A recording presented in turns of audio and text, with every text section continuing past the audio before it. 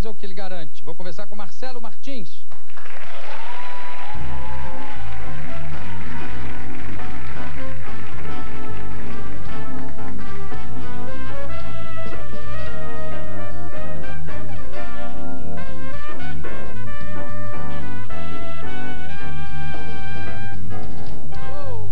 Marcelo, ah, É engraçado que quando eu falei para as pessoas que eu viria aqui no programa do Jô, muita gente falou, olha, quando você sentar do lado do Jô lá, você vai ficar super nervoso. e você não E, tá, né? Não, super tranquilo. É, Graças a Deus. Vai. E você sofre de malária há muitos anos? Não. Olha aqui. Você já teve muitos empregos, né? É, eu fui porteiro, fui é, garimpeiro de imóveis, fui frentista. Garimpeiro de... É, ga- garimpeiro de é o seguinte, você pega o imóvel que está, o proprietário não foi para uma imobiliária ainda, anota o telefone e passa para um corretor, né? Mas daí eu... Ah, isso é só isso, garimpeiro de É, imóvel. ga- garimpeiro de imóvel é simples, mas E deve dar bastante dinheiro, não é isso? eu não ganhei dinheiro, né? Inclusive dei muita despesa para imobiliária. Hum, daí me- me despediram, entende? Mas fiquei dois meses. Dois meses, foi legal. Foi. Qual é a média que você fica em cada emprego, assim? Não, ficou bastante. Em frentista já fiquei um ano. Né? De Mas teve, teve uma vez, é, no restaurante eu fiquei três dias. Por quê? Não, é, eles me colocaram como garçom, né? Daí falaram assim, ó, você vai ser garçom? Não, eu não vi nada demais em levar um prato e um, e um copo num, pra mesa, né? Só que eles me encheram de prato, assim, me encheram de prato, eu levei, eu quebrei tudo no restaurante, né? Prato cheio. cheio. Quebrei na frente dos clientes e tudo, né? Daí eles me colocaram num tipo de um estábulo, assim, pra lavar os pratos. No terceiro dia me dispensaram. Você ficou só o segundo dia para poder dar conta de Não, no lavar aquela coisa. É, no segundo dia eu só lavei a louça. Agora, você é natural de onde, Marcelo? Você é da onde? Curitiba. De Curitiba. Temos hoje aqui, nós temos vários estudantes de Curitiba que estão aqui, de camiseta. Levanta para ver o que está escrito na camiseta, cadê? Faculdades do Brasil. Você conhecia já? Não, eu não frequentei a faculdade. Mas você podia ter tido um emprego lá, como professor, como qualquer... É. Não. Não, não, não, não conhecia. Qual foi o seu primeiro emprego?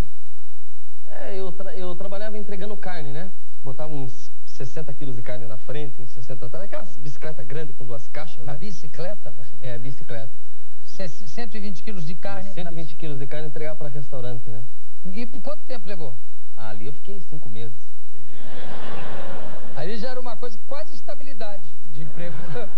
Cinco meses. E o, o você teve, uma- você teve, você serviu o exército também. Servi. Eu vi aqueles filmes americanos, né? É, Rambo. É, eu pensei, vou, vou pro exército também, né? Cheguei lá no primeiro dia, fui direto pra faxina. Fiz faxina o ano inteiro, né? E teve uma vez também que Curitiba é muito frio, né? De, madru... de madrugada eu comecei a, a- a dançar com o fuzil pra me esquentar. Eu... Dançava com fuzil. Não, mas foi uma vez só, três minutos, né? E o sargento pegou e, chegou, o sargento que faz a ronda me pegou no fraga, dançando com o fuzil, né? E- mas foi tudo bem, ele, me- ele falou assim, tudo bem, filho? E eu falei, tudo bem. E daí eles me transferiram pra cozinha.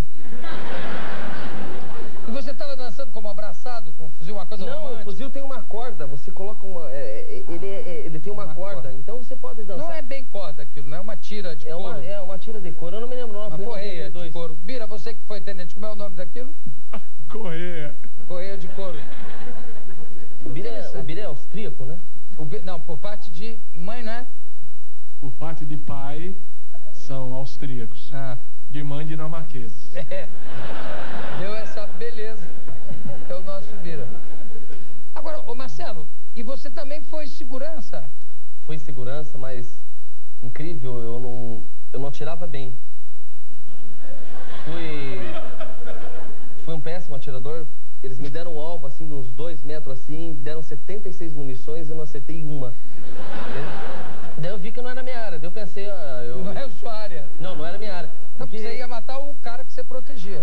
É, porque eu pensava que eu ia ser artista, né? Eu cheguei até a comprar um violão, né? Hum? Comprei um violão, pensei, vou comprar violão, vou tocar, vou cantar, né?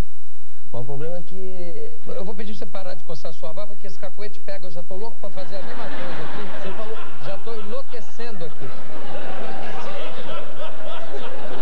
Pega, pega. Eu já tô louco aqui, tô me segurando. Fica eu e você, assim. É, é. É, porque... porque... Olha só, Que mas mesmo aí... você tá perguntando? Eu nem me lembro, mas porque eu fiquei tão hipnotizado, com louco pra fazer assim que eu não lembro. Não, eu tava falando um negócio de, de ser segurança, você disse comprou um violão pra ser artista. Ah, eu comprei um violão, mas eu me atrapalhava com as cordas, eu nunca podia tocar, né? Daí eu enchi meu saco, troquei por uma bota. É tudo a mesma coisa, é similar, né? Bota. Ô, você com que idade pretende se aposentar?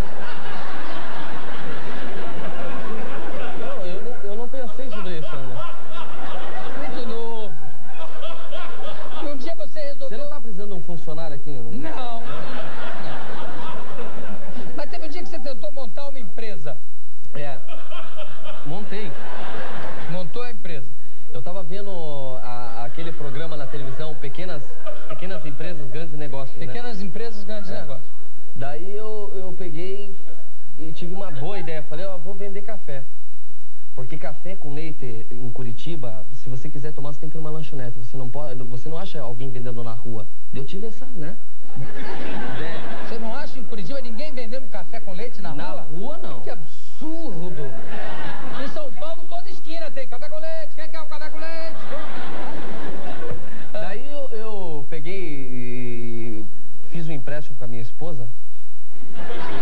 E você é casado.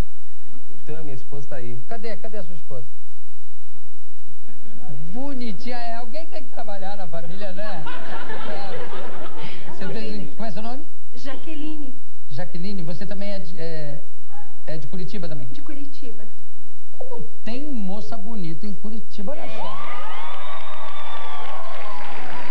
Aí você fez um empréstimo, fez um empréstimo com ela. 100 reais. Daí fui na, no, no- fui no mercado, comprei oito garrafas térmicas. Daí, daí com o auxílio dela... Para com Ah, desculpa. Daí com o auxílio dela, Ah, eu tive outro cacuete também, que foi terrível. Mas isso qual aí- era, qual era? Não, eu, eu tinha visto um programa de fazer é, facial, assim, você tem que fazer ginástica facial pra você não ficar velho, sabe? Então Ah. você faz. Não faça. Não faça isso, que se eu pegar esse, eu tô frito. É, e aí? Uma vez eu fui fazer uma. E uma vez eu fui fazer uma entrevista e aflição. toda vez que eu ficava nervoso, mas isso aqui eu tô tranquilo, entendeu? Aqui é, é costume, assim. Mas toda vez que eu tava ah, ne- nervoso, eu tava fazendo esses. Era, virou um cacuete. Eu nem tava mais fazendo, daí a pouco eu tava assim. Tava andando dentro do Ai, ônibus. que aflição que tô me dando! Chega aqui. Ah, você tava andando no ônibus e... E fazendo assim. Mas na, na- na entrevista que eu fui fazer, uma, uma- Posso pegar aqui pra mostrar? Posso pegar aqui? Na entrevista que eu fui fazer, a moça falou bem assim pra mim, eu já tinha passado. Tomate, tomate vai morrer! Imagina se. O Bira já ri, imagina se tivesse grana. Vira. Mas aí, fala que a gente ainda tem que voltar pro café com leite, vai. Eu fiz uma entrevista Ah, pro emprego. ah, E daí a, a- a- a moça que fez a entrevista, ela ia a- a- me dar a vaga, já era minha vaga, entende? Daí quando ela veio com uma folha assim, fa- me falando os benefícios do emprego, né? Ó, Marcelo, vem aqui. Daí eu fiquei do lado dela e eu, eu, eu tava todo nervo, tenso, né? E ela falou bem assim, ó, você vai ter vale transporte, vai ter tique refeição, vai ter... E, e eu, escutando o que ela tava fazendo, ela com a folha assim, você vai ter velho é, eu- vai ter tique. e ela... e- não, ela me olhou com o rabo do olho. Ah, ticket de refeição, vai ter ah, E ela- assistência médica, Ela, ela me dispensou, pensou que eu... psiquiátrica.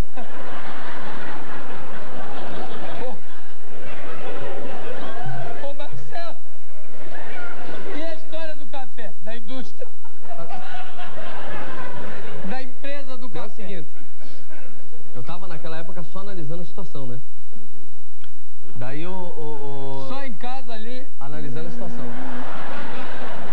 Daí o, o- tem um amigo chamado Marcos Correia, o apelido dele é Einstein, né? E ele tem mais de 30 anos, estava numa situação difícil, eu resolvi empregá-lo, né? O Einstein. O Einstein, com mais de 30 anos, uma situação difícil. Você empregou. E nós fomos trabalhar junto. Daí ela fez um monte de salgados, 120 salgados. Peraí, peraí, peraí. A gente tava vendendo café com leite, já tá vendendo salgado? Não, ela fez o café com leite, daí ela, Ela fez que o fez, ela salgado. deu dinheiro, fez o café com leite. Não, mas eu vendia, entende? Sei, claro, E claro, o cada Einstein na- servia. entende? Porque o Einstein, daí eu liguei pra ele e falei, oi Einstein, como é que tá? Daí ele falou, tudo bem. Eu falei, tá, tá numa situação difícil? Daí ele, daí ele falou, tô, tô desempregado. Eu falei, quer mudar de vida? Daí ele-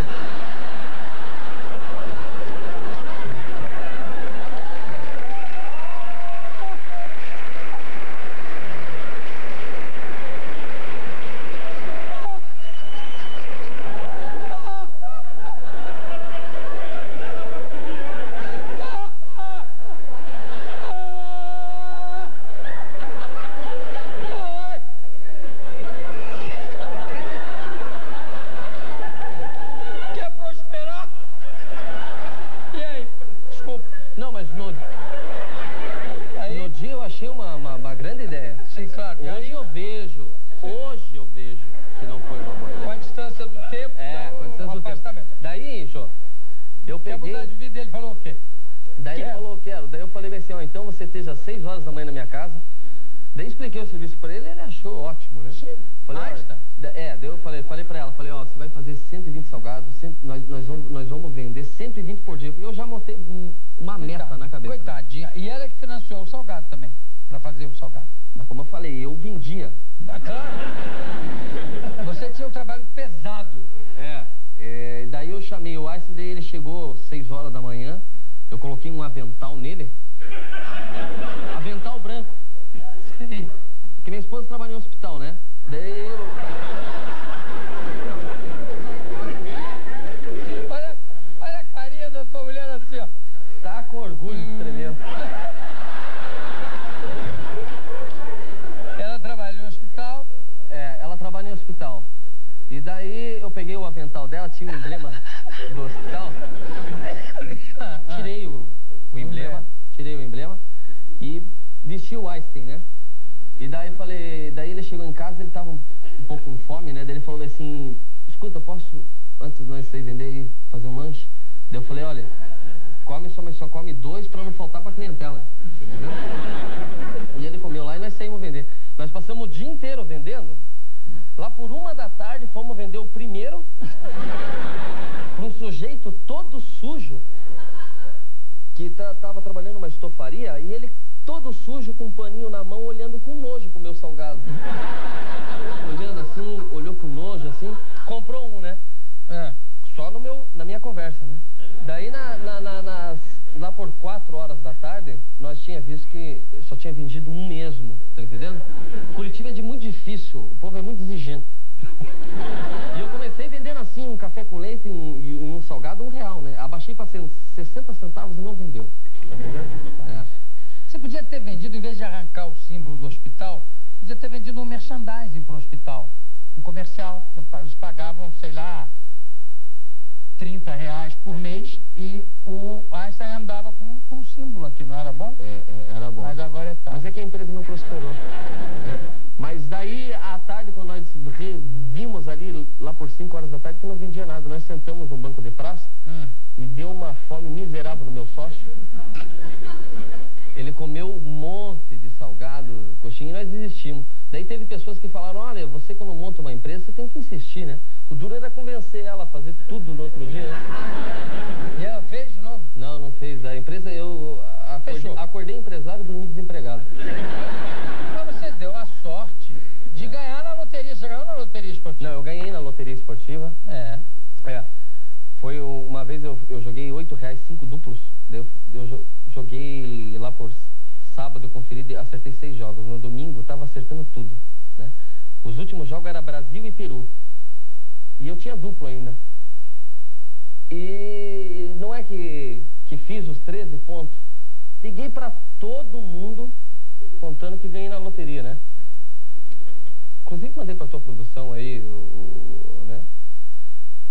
E no outro dia meu irmão me liga e fala, ô Marcelo, é o seguinte, adivinha quanto tá, quanto o ganhador deu na tua loteria?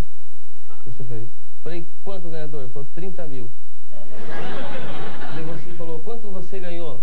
Eu falei, eu ganhei 21 real. Ele me falou, né? É porque ele ganhou também. Não, eu, não, eu, eu confundi, ele me falou. Ah. E daí eu fui na lotérica eu não acreditei. Pensei que era brincadeira, brincadeira de irmão, né?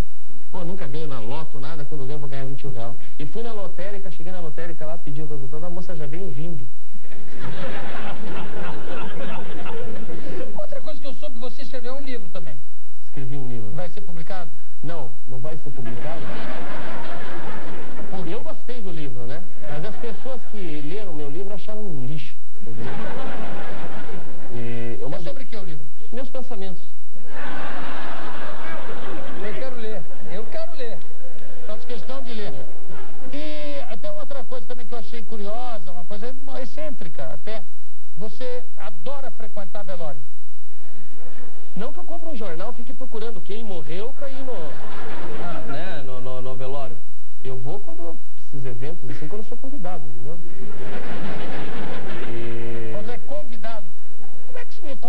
Para velório tem RSVP embaixo? Não, né? Responda. Mas pelo menos ligam, né? Dizem, ó, morreu fulano, morreu ciclano. Aí você vai. Não, daí eu vou, né? Qual é o melhor velório que você já foi até hoje? De rico.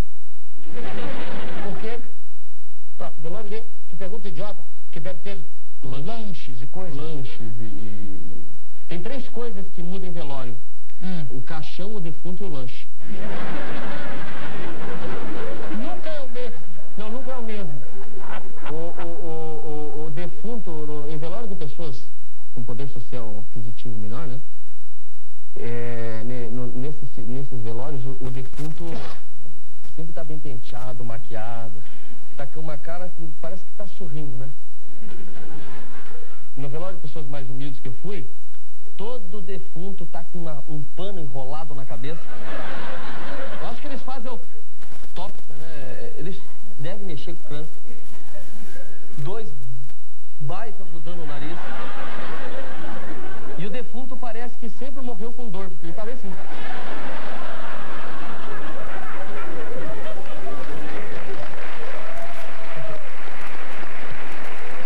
E o lanche também, né? O lanche. Ah, o lanche sempre, o- no, no das pessoas ricas que eu fui, assim, sempre tem um pão com presunto, um café com leite, tá entendendo? Uhum. O de pobre não tem nada. Na seca. Nada.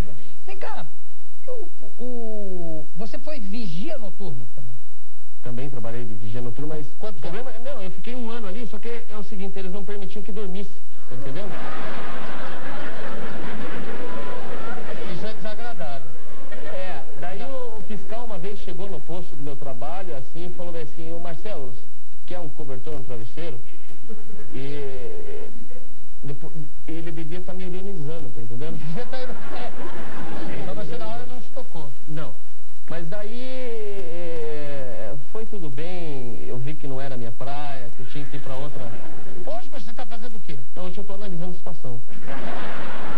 Você é analista de situação hoje. É, hoje eu só fico ali esperando momento certo, né? Para dar o bote. Na pequena área pra fazer o gol. Agora, você disse que comprou um violão, não comprou a, a- a guitarra, mas eu sei que você gosta, não comprou as cordas, mas eu sei que você é fã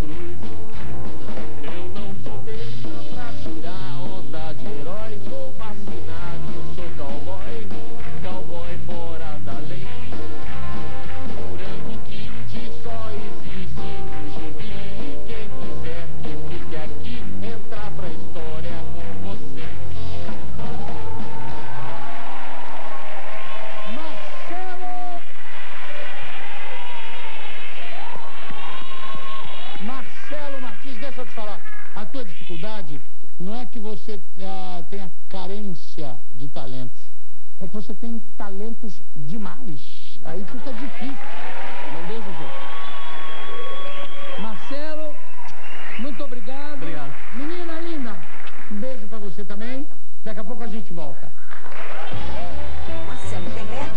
Este prêmio porque teve o vídeo mais votado na nossa página na internet. E agora a gente mostra o passeio completo e a alegria de quem nunca viu a capital a bordo de um balão. No gramado do Barigui, o despertar de um gigante. E quando se ergueu, encheu de curiosidade que passava por ali. E de vontade também. Leva eu! Era o mesmo que queria essa figura diferente que apareceu logo cedo no parque. Esse rosto aí, te lembra alguém? O melhor de Curitiba é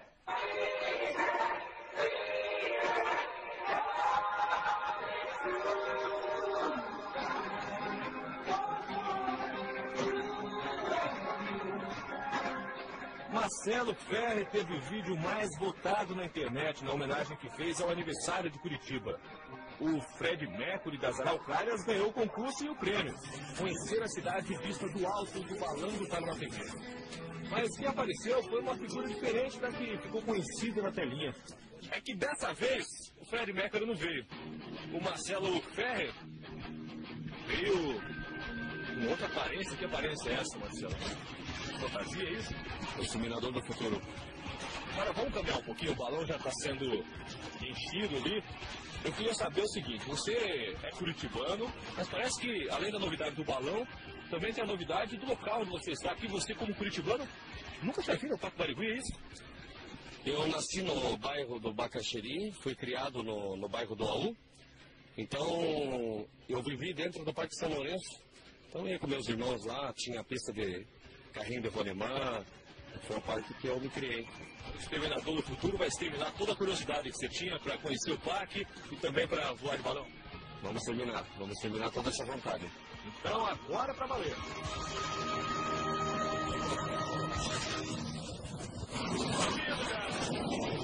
Tá subindo, vamos subir.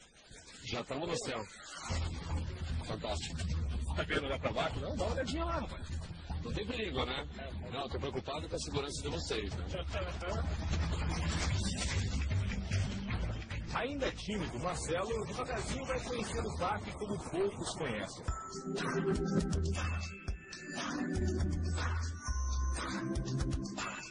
E a cidade de Curitiba também.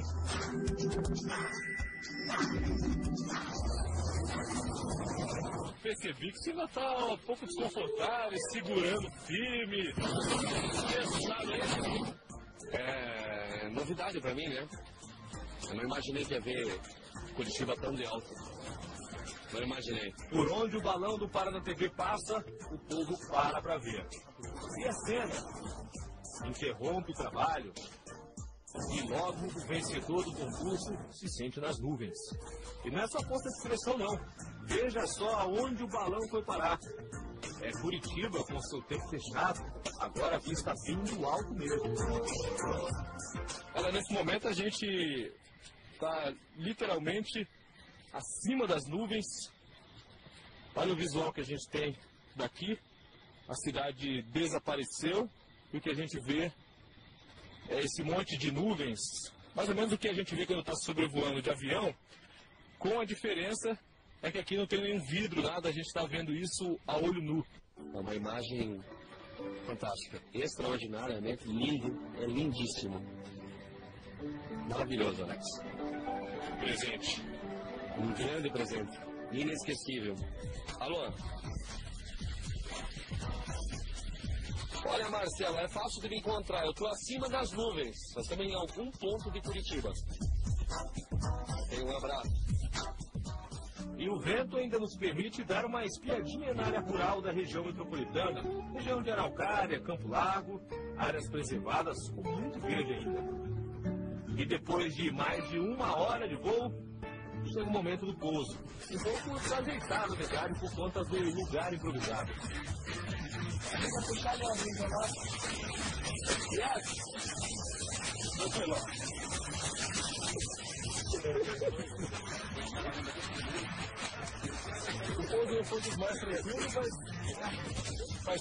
Eu espero que outras pessoas participem do concurso nos próximos anos, porque é uma experiência diferente, como eu disse anteriormente, incrível e extraordinária.